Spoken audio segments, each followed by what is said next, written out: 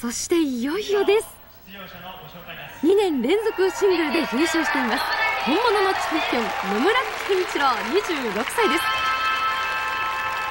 3連覇なるでしょうか。その演技これからじっくりご覧いただきたいと思います。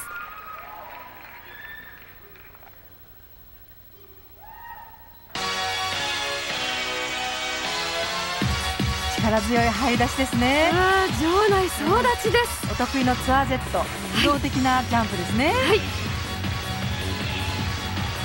始まりから見せます見せます、はい、非常にこの選手はあのコーディネーションされてるだけですね、はい、フォームの正確さとかコントロールバランス力タイミングスピード感とてもあのー、バランスされてますね。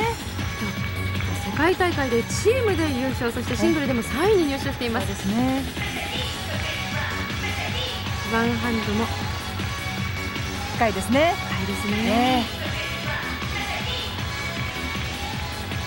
非常に筋力と柔軟性のバランスがとてももともといいですね。いい体質体格を持ってますね、はい、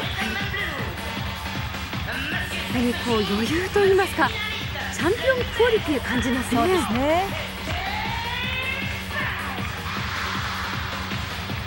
やはりあの精神的なメンタル面でもとてもあの大切ですね、あこれも力技ですね、好転しておきました、足つかないでまた前に抜いてますね、はい、強いですね。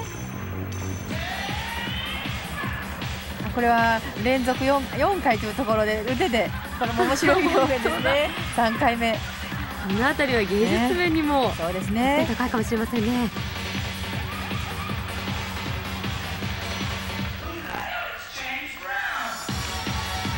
軽々と言ってますけどかなり高度なことをやっております。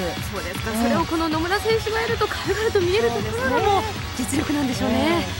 天性的なものもあるかもしれませんね。努力ももちろんあります。安定してますね